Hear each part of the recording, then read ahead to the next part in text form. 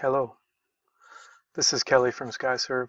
I wanted to address a question that came up in some of the comments, and uh, it has to do with filtering out the noise that you see often when you have water present on a job site. So photogrammetry is not the best tool for getting the location uh, of water. It comes up really noisy.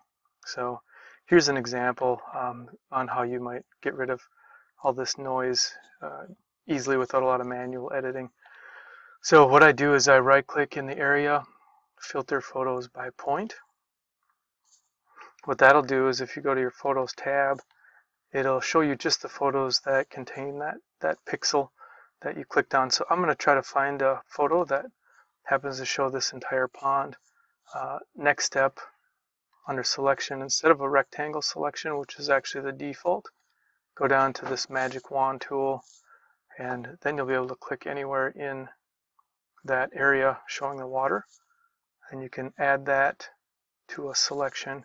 This creates a mask. Uh, if you want to further grab additional points, you can hold down the control button and that will add uh, additional parcels here to, to your selection. So you have to be careful because it will actually go overboard at times and go into your project site especially when you have a lot of uh, when you have a lot of uh, similar color. You know, this is really looking for color differences. So normally water is quite a bit darker in this case. There's a lot of silt, silt in the water.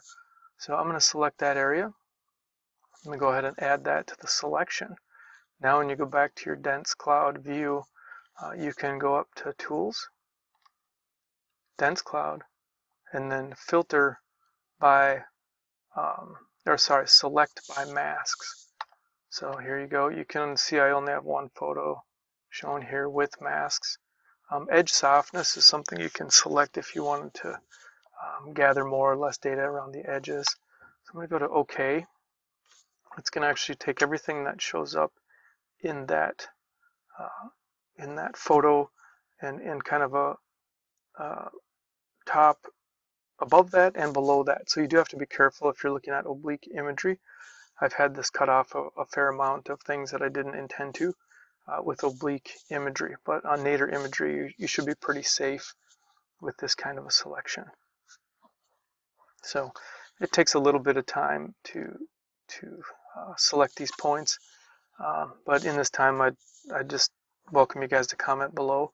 And if you wanted to see additional videos on other subjects, uh, please state those in the comments and I'll, I'll try my best to create more videos when I have time.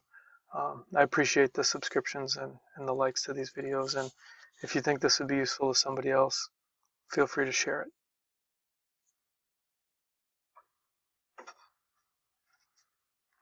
Okay, that took about a minute to complete um, the, the selection. So now you can see all these points within that, that uh, water, all this noise is, is selected. So now I just go ahead and delete that and, and now that cleaned up that whole area.